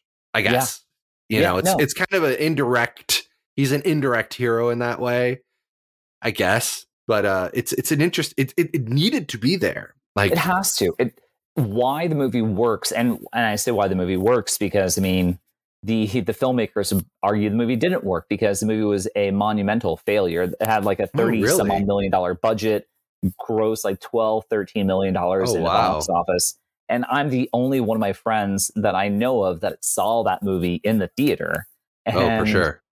uh, but I, I mean, admittedly, I watch every fucking movie that I can in the theater, but nobody saw it. Nobody saw it. Nobody knew about it. It, it was a, a just a, a failure. But the reason, and granted, why I love the movie now, like critically, the critics love it, and the movie's starting to find an audience. We're like, oh, this movie's pretty fucking genius. Oh, it came It's out a like, cult, it's a cult, it's a cult classic, right? yep. And it, it, I it told came I told some folks I was coming on to your your program to talk about Gattaca, and they were like, "Oh hell yeah, that's a great movie." And I was is. like, it mean, is, It is totally. a wonderful movie, but they're the the audience is slowly, you know, it, it slowly found themselves and it, it, it's growing and people are like, oh, it is a smart movie. It is a really, really, really genius film. But the reason why this movie works at its core, and I've got like several notes about it, and we've we've talked mm-hmm. about them several times, but it's Xander Berkeley's doctor character that he's he's that the re, like the most human element of of this movie is like because he's known the entire fucking time and he's known everything that he's doing and not that he doesn't just rat him out but he's looking at him as like all right well my my my you know my kid isn't what they said he was going to be. And you know like how am i like as a dad what can i what can i say? And he it, it, it's just so good. And then at the end that like I've, I've known this whole fucking time. There's still there's still good in this world. And even though you're a valid i know you're not really a valid i'm still going to embrace that whole idea of like your your perseverance in the human spirit and that is more important than what what data says on a computer and i think that's it's almost like Xander Berkeley's son, or like Xander Berkeley is going to be like the one who turns Ethan Hawke into this symbol, not mm. Ethan Hawke. Like, mm. you know what I mean? Like he he's he's the one that turns Ethan Hawke into the champion for the invalids. Right. Like in in the sequel that hasn't right. that yeah, doesn't in, exist. In the right? sequel that will never happen. Yeah, exactly. Yeah because uh, Ethan Hawke is, uh, you know, and you root for Ethan Hawke because we're all Ethan Hawke in that in that sense of well, we're all natural born, and imagine living in this world where you are considered a lesser specimen because of the fact that you didn't have all the the shitty defects that we are that we all have within us, like just kind of, you know, deleted before we were born. And we're not far away. And neither i don't i mean just by looking at you i don't think either one of us are you know uh six two six three men. But uh sorry i'm gonna have to jump in here and say i am solidly six two so one of the only things i have going for me i'm not bald and i'm six two sorry if you're bald and you're not and you're under six two these are just things that my wife likes about me. So I'm clinging on for dear life over here to anything I have, yeah, which like, is those are other elements, just things that you can just delete and imperfections and right. whatever. Like and you, then, mentioned, you mentioned height. Uh, Ethan Hawke is shorter than Jude Law in the film. Yep. And, and that's where I was going with that. Yeah. Oh, sorry, sorry. Go ahead. Take it away. No, no, no. Please, no. Um, but the the idea, like, uh, he, that his character was two inches shorter so what does that mean? How are we going to do that? Oh, we're just going to fucking like bone saw uh, his uh, his shins apart, and then basically try to find a way to increase yeah. two inches of height to him, which is so gnarly. That is a one of the best cuts in the movie, by the way. Um, where Ethan, where Tony Shalhoub says, um, you know, there's just one more thing because uh, Ethan Hawke cuts his hair just like Jude Law, and he gets contacts because he wears glasses in the film. And also, Jude Law has different colored eyes. And he kind of has this moment where he whips around from the mirror, and it's almost like the uh, I'm too sexy for my montage you would have in another movie. He's supposed to turn around, and Tony Shalhoub and Jude Law are supposed to go, "Yeah, bud," and give him a big thumbs up, like that's it, that's the outfit. And instead, Tony Shalhoub he goes, "It's perfect," and Tony Shalhoub says, "Not quite." he's yep. two inches taller than you. and and and Ethan Hawke is like, no, I'm not doing that. I'm not doing that. Anything but that smash cut to bone saw noise and a bone saw just descending. And you don't see, you know, the, the surgery, uh, thankfully, but you do see the aftermath, which is Ethan Hawke in these insane leg braces with like tins and wires everywhere.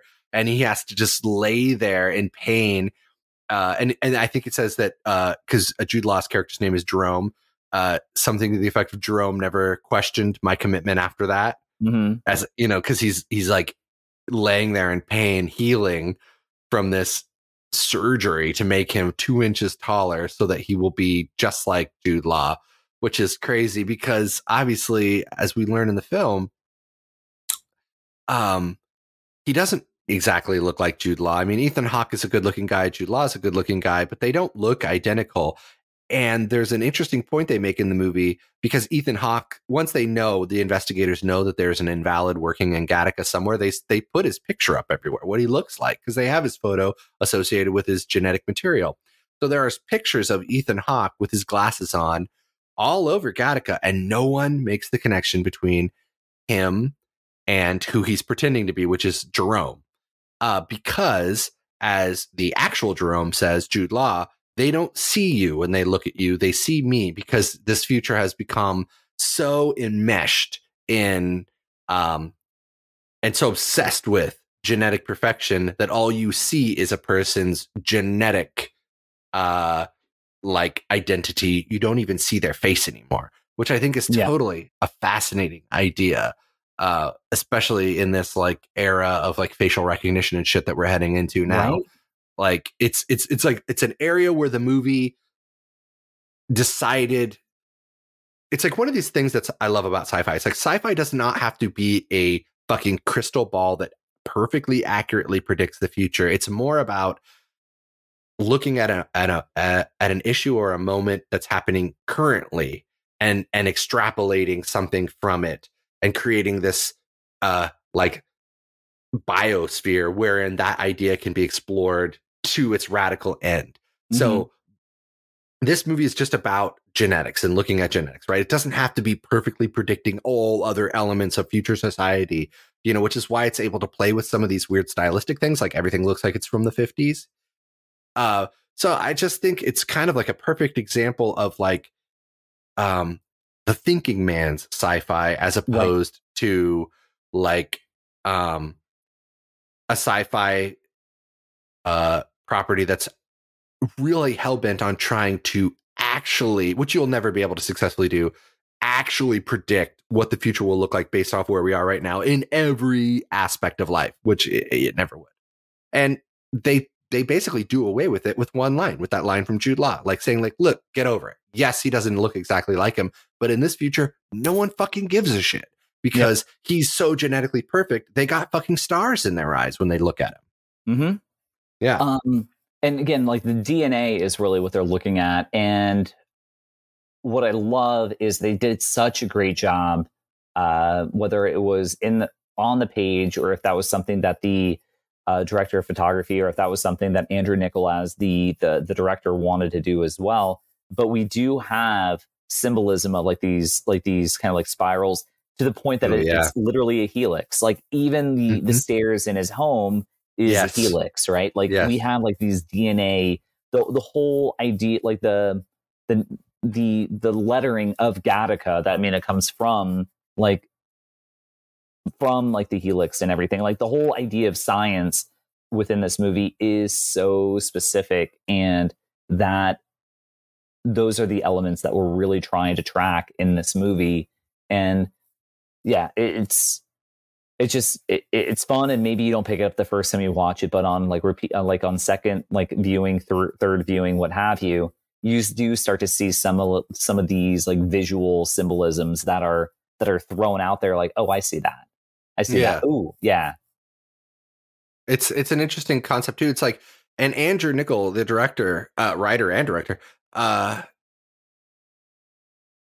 it's not like he isn't aware of the impact of what a face is and how we identify with how a person looks because he fucking wrote the Truman Show, he wrote the truman show which is all about yep this fucking recognizable guy. Anybody would know him anywhere in the earth, you know. So it's Mhm. like he, he's just sort of like playing with this one idea, which is like kind of getting back to my earlier comment of like he's doing that sci-fi writers thing of saying like, let me just take one idea and blow it up, and then Yep. contain it inside a world that is built to sustain the idea itself, not put it in a world that is supposed to actually be some sort of like accurate representation of where we're going in the future. Even though with Gattaca, you know, with like all the moral stuff and a lot of the philosophical elements, he is totally like he's he's proving to be very right. You know, and weirdly enough, Truman Show too, you know. I mean, I hate these people with more than life itself, Andrew, but like Kanye and Kim Kardashian's kids are going to be like Truman people someday. Like, so he kind of has Yep. this guy's kind of batting a thousand with that. I'll say where where he does fall down a little bit is that In Time movie, which is it's a film that it, that exists, and and some people will say it's good, and others will say they've never seen it, which is probably at the larger camp. You know, and I'm I'm okay with people not seeing this movie or not knowing this movie because of the fact that there are many movies, whether good, bad, large, small, insignificant, monumental, that I've seen that other people haven't. I I just I enjoy cinema as as an art and and by seeing it, I feel that it gives me a way that I can look at the world, be a little bit more educated. It gives me something that I can then subsequently have conversations with people. And if they haven't seen it, then you know whatever you know they're they're missing out, or maybe they don't they don't they don't need it within their own lives. But that's why like my preferred medium i or media is is cinema. That that's that's why I have a whole fucking like podcast dedicated to it because that that's the art form that you know I I love I love paintings. Um I love poetry. I I love you know I I love literature, but yeah, my I'm just preferred I'm just waiting for you to say I love lamp as you're looking I- I- around I the love room. Lamp. I love lamp. You're just looking at things in your room, aren't you?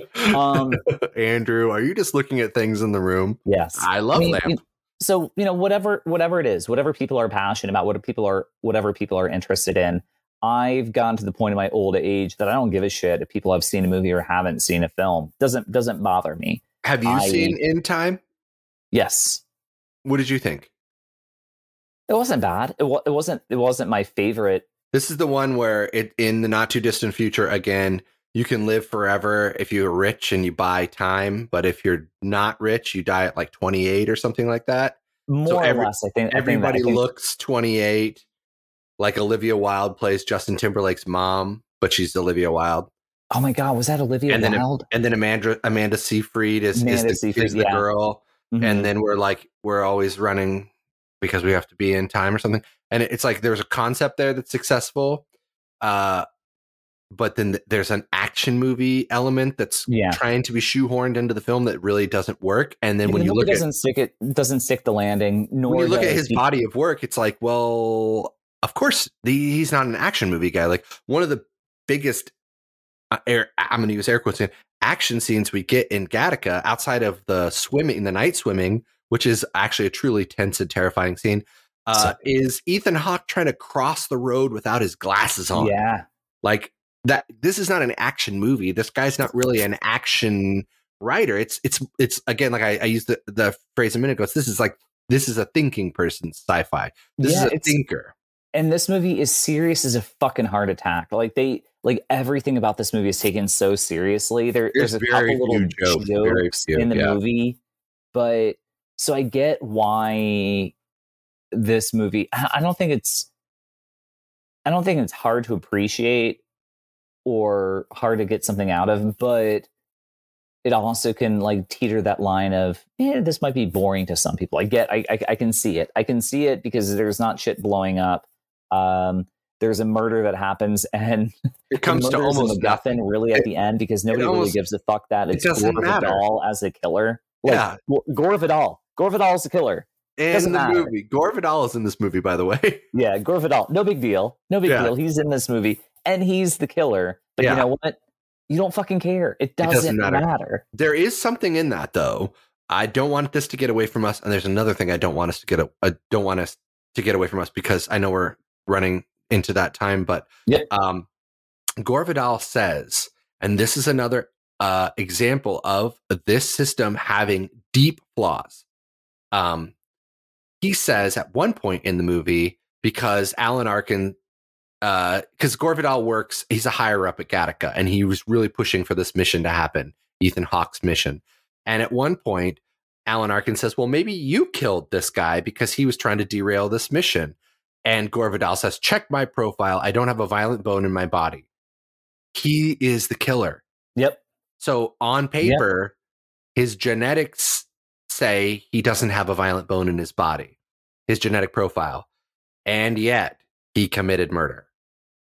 So Mhm. that is something that's in this film. It's not there on an accident. They weren't just like, oh shit, ooh, we better button up this murder uh subplot and get on with it. No, it was intentional. That line was intentional. This is a writer director. So it's not like, you know what I mean? Like it's not Yep. like he, he wrote the fucking screenplay. Every line is precious to him while he's filming it as well. Um so I thought that was merited a moment to stop and think about. Like there is an example of a flaw in this system, right? He shouldn't be capable of murder and yet he killed a guy. Right. So that's interesting to think about. The other thing I don't want us to get too far away from if, is the scene when Ethan Hawke and Uma Thurman go on their date and they go to see this pianist. And at the uh, end of this guy's crazy sonata, he throws his glove in his gloves into the audience, and Ethan Hawke catches one and he gives it to Uma Thurman. She holds it up and it has six fingers. And then there's a brief conversation about how the pianist has an extra finger on each hand so that he can be an even better. He was genetically engineered to be this insane piano player and to write music that normal 10 fingered people couldn't play because you would need 12 fingers to play this music. This to me signaled the beginning of the next phase, wherein even people like Jude Law, who are engineered out the ass to be perfect, are going to be the second class citizen to the Right. to the next generation that's coming up who have four arms or bigger brains or you know um more fingers. It starts with more fingers but where does it end right? Like it that to me was a signal Bigger that equipment like uh yeah bigger equipment. Xander berkeley is just going to be fainting with the next generation that comes up he's going to be giant beside himself It's just like slamming down there's going to be like a sound effect while this thing it's going to be it's going to be like basketball. Just- uh, anyway, serious stuff, people. Mm-hmm. Clearly, yeah.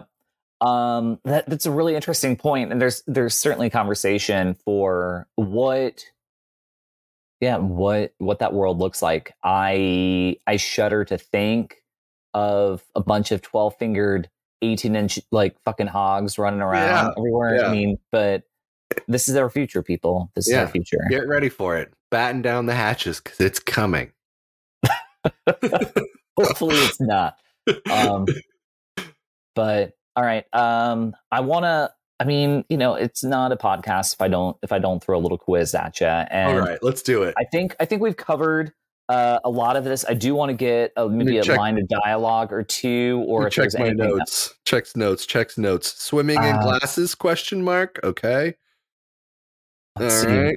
another note i had was we shed 500 mil, million cells a day question mark is that true That's do we shed 500 million cells a day Hopefully, that's not one of the questions you're asking me because I'll get it wrong. No, but that that was something in there.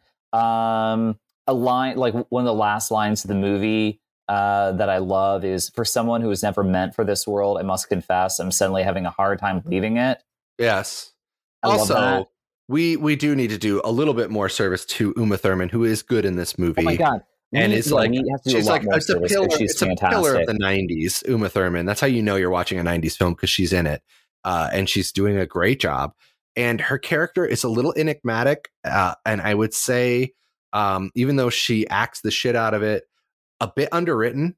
I'm kind of Yeah. confused at points uh, why Ethan Hawke waits until the last possible second to initiate a relationship with her, um, and why she has any interest in him at all beyond uh, when she takes his hair, uh, or it's actually Jude Law's hair, when she goes into his desk and takes one of these hairs he leaves laying around, and she takes it to a shady back alley uh, sequencing company, which I kind of love that whole scene as well.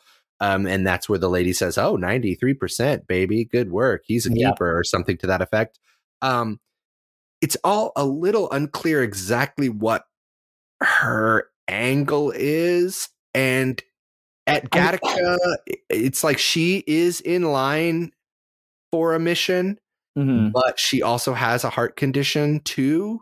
mhm. So she's a natural born person who just happens to be uh gifted and lucky Right. But there is an outside chance because she wasn't genetically engineered to be perfect. There's an outside chance that she could have a heart condition. So that kind of like puts her on the back burner for missions. I think, uh, yeah, I think, and they could have done a little bit. Uh, again, the movie's not perfect, although I love this. And like, I think my my own individual like out of ten, I give it like an eight and a half because I I really fucking love this movie and I love the music and I love the idea and the themes of the film. There are elements the movie is lacking at, and and it's not from performance. I think they're both fantastic. It's but, a product of its time, unfortunately. Yeah, you know, the female um, character is a little underwritten. Yeah, she she is she is underwritten, and it's also a debut uh, film from a director that maybe thought they had their, their everything was there, and it was just they it was overlooked or under underdeveloped. But I think her catching him looking up is something, and just seeing yeah. the fact that it's not just he's there, but there's a passion that right. exists. That he, he, doesn't have this like entitlement. There's hmm still like an awe, kind of. And she's attracted to that. Although, again, this goes to the underwritten, that's not explored. And it's only really kind of conveyed with just her looking and her actions. But it's not, it's not really tr- like totally explored, even with two or three bits of line of dialogue, which I think could have also gone a long way. The movie isn't a lengthy movie. I don't think it. I don't think it's over two hours. I no, it, no, no. Yeah, I think the movie take you know uh, falls under two. Uh, but another maybe shit, another thirty seconds of of some type of relationship relationship building or a bit of dialogue may have gone a there's, long way. There's there. the there's a noir vibe to the movie. Oh, um, for sure so it almost uh, I almost chalked it up to the kind of trope from noir films of the dame being attracted to this anti-hero just because he is an anti-hero and mm-hmm. in noir you see this a lot uh which because noir is predominantly written by men um, and I'm talking like more traditional noir. I know there's neo noir now, which is a totally it almost deserves to be. It is its own category. But in traditional noir, um, a lot of what you're supposed to infer from a female character, a lot of what you're supposed to to infer comes from her desires towards the main character. That's supposed mm-hmm. to tell you who she is. She likes this guy, or that means she's this type of woman. They don't really. Right give Uma a backstory. They don't really give Uma a lot of agency because you're supposed to be inferring things from her based on her attraction to Ethan Hawke and who he is as a character. Mm-hmm. So, like, that's a criticism I have of this film. And again, like, if you are a listener of the show and you remember the first time I was on, I don't tend to view films that are from a different era. I don't subject them to like the same rigors of the era that we're currently living in because it's not fair and it's not realistic. Right. It's a moment in time. Um, so like this movie is a product of the era when it was made. And as a result, Uma Thurman's character comes across as a bit um like kind of under baked uh mm-hmm. because she's there to serve a different purpose. And we have moved past that. Hopefully, we're moving past that as a society so um, they shouldn't reboot Gattaca, but if they did, I wouldn't be surprised if she had a lot, if her character had a lot more to do. Yeah, um, no, that's without. I, th- I think that's very, very perfectly, perfectly stated. I will say, like cast wise, whether it is Alan Arkin, whether Loren Dean, which I think he was great. I love the the swim scene between him and Ethan Hawke. I like the the, the, the two younger versions uh, of them yeah, doing that. great casting. They look just like them. It's crazy. Yeah, fantastic, fantastic. When they make the transition from the actor playing young Ethan Hawke to just actual Ethan Hawke with a different haircut and and a shave, it's pretty fucking seamless. Mm-hmm. Um, even fucking Casey Jones from Teenage Mutant Ninja Turtles as oh as their father, God, right? That blew me away. That floored me. I couldn't believe it when I saw him in this movie. Yeah. Dean uh, Norris, I, as we've mentioned. Dean Norris, we mentioned. Pal. I do want to mention that you wouldn't know because you don't see her whole fucking face. You only see her eyes. but Maya Rudolph is Wow. the doctor uh, delivering Vincent in the very beginning.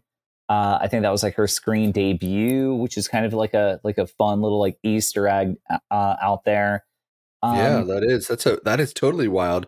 Blair Underwood, he makes an Blair appearance. Underwood as the the like like genetic like doctor, like given the whole spiel of like Oh. he's still you, just the How about the this? Ernest Ernest motherfucking Borgnine is in this movie. Yeah. Ernest Borgnine as in a this has janitor. great, yeah, as a janitor, fucking crazy. Oh, the the very very last thing I'll mention is that I don't know if you heard about the original credits that were, or were not the original credits, but how the movie was supposed to end. Mm-mm. So originally written into the script, and His heart explodes the second they take off. Yes, he dies. He dies. uh, they actually, it's actually like a, it's actually like um supposed to be related to the Challenger. So the whole It's thing like explodes. Jacob's ladder. Like Yeah, it's no. it's all taking Um, place in like seconds before he dies. What? yeah, what they did actually originally, but the audiences were like, "Fuck no," and I think the everybody was like, "No, this is not the way to do it." Is that oh, we're gonna? Okay, we're fine.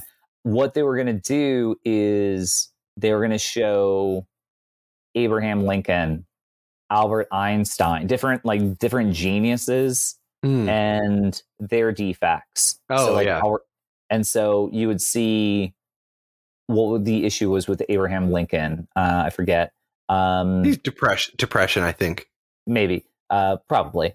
Uh, Albert Einstein, dyslexia. Oh, I, I know what it was with Abraham Lincoln. He had a bullet in his head. yeah, that, I mean that that? Definitely it didn't was- help. Did not Yeah. help. Yeah. But like uh, Alfred uh, Albert Einstein was like depression, and you know they so they they cover like Julius Caesar had uh bad friends. he had bad friends. He had bad tasted friends. No, he he he had he, he had uh he had uh Joan of Arc sickness there. What do they call that there? Uh uh, uh, uh, uh, uh, uh seizures that come on. Mm. you Mm. know yeah anyway people have had it's it's like goes hand in hand like sometimes it's kind of the idea that like sometimes the greatest people have these like quote unquote genetic defects Yep. Um, Same thing with um, Van Gogh. So they, they showed a bunch, like in images, a bunch of like people that we all recognize, but their defects. And yeah in this world, how they wouldn't have been born. So, but it just didn't strike right after too- the movie that you had just seen. Smart honestly it's too fucking smart it's too it it's too much thinking it's too much thinking I think by doing it, my my take is it's just a little bit like too fucking like pretentious. Like, like you, you think your movie is that good, you just want to point out like this is what could have could have been with these people. I don't know.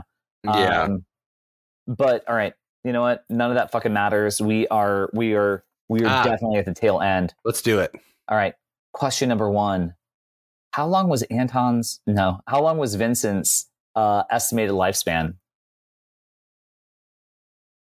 hmm 34 Thirty point two. ah i knew it was a 30 something should have been taking better notes Jude Law's character was Jerome Eugene, right? yeah And so he was going to go by Jerome. So he asked him to call uh, call Jude Law by Eugene. Do you know what Eugene actually means? It's interesting. Huh. The name Eugene? hmm No, I don't. It means well born. Oh, interesting. It's a Mhm. is it a biblical name that I'm guessing? Uh, I mean, I think it's Jewish, but oh, I it's quizzing, I'm quizzing you now. I think it's Hebrew for like well born. I Wow, interesting, interesting. Yeah. Okay. Okay. Yep, yep, yep. Okay. Oh, oh for Um, 2. Oh for 2. It's fine. It's fine. Don't don't cancel me. Don't You're, you're genetically. Yeah, no, that's edit it. me You're out. done. You're done. How about this? What is Titan? Titan is a moon. Titan is the moon is a moon of uh is a moon of Jupiter. Well, it's Saturn, but that's okay. Shit. All right. Sorry. But you, I'll give it to you. Still one, one for three. do you do you recall the term they use for someone who bar for someone who borrows the DNA of another person?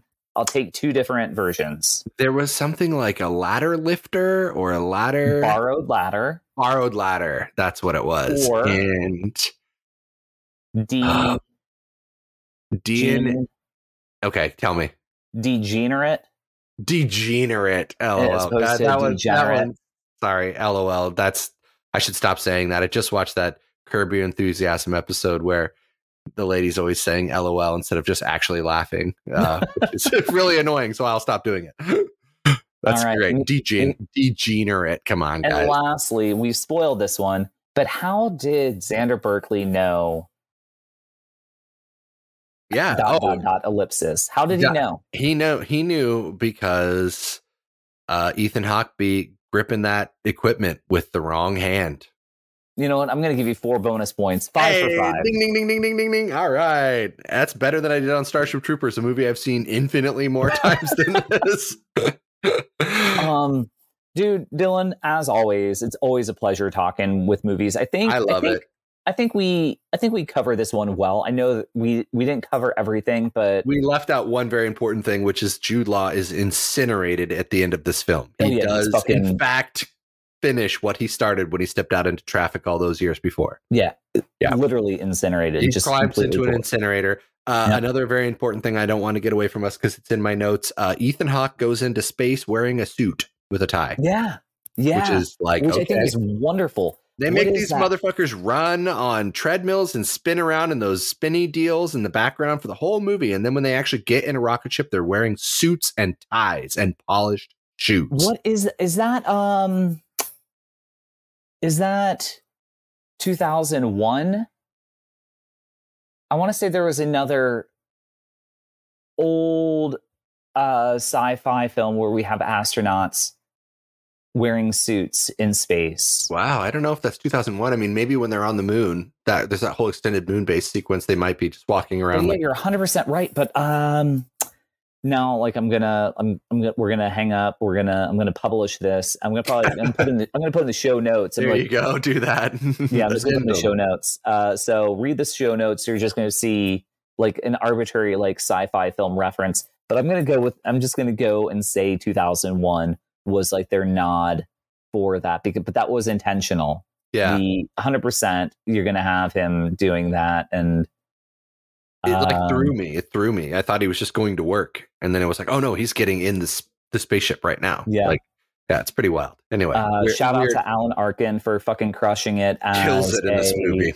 kills as a, it. a natural born um, human, but clearly smarter than Yeah, Anton. smarter than um, Anton, and he knows what is up. He can smell it the whole Yep. movie. He's like he's the closest thing you get to an actual antagonist this entire film, and he's Mm-hmm. great. He's great. Yeah, and he he he just gives like he he doesn't like berate Anton. But he's like, "You were right, sir." That, like, Yeah, and it's like, all in the I delivery. was right. I Yeah. was right. Like, Yeah. like everything he's done. Like he he was the one that like all the shots he did. He was on top of. He cracked the fucking case. He's the one who took the DNA sample from the eyeball of the murdered man and found out that the murderer had spit into his eye when, when Yep. he was killing him. He does it all. It's not Anton. Anton fucks up left, right, and center this entire movie. He's actually the biggest, one of the biggest fuck ups in the movie. Talk about failing up your entire life. That's Yeah, Anton. failing up, failing yeah, up. yeah, yeah, I think that's the way to end it. yep. Like two, All right, like a couple of white guys on a podcast, just failing up. failing up. There you go. way to end it. Andrew, any way you want, anytime you want me back, any movie you want to talk about, you got my number. I'm happy to do it. I'll always make time for you, my friend. Talk to you later.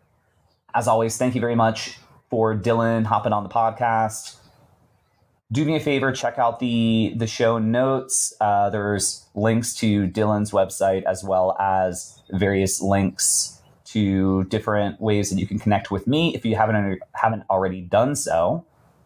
And we'll have a couple little like tidbits on this movie and a couple other little things that we discussed throughout. But anyway, I'm gonna wrap this one up as you as you've been listening to this for like two hours anyway. So I think that's enough. I think it's a good place to end it, get it out to you. Leave us a review, like, listen, subscribe, tell your friends, and follow me on the various social media channels. We'll see you next time for episode nine, number 99 of Stamper Cinema. Bye, y'all.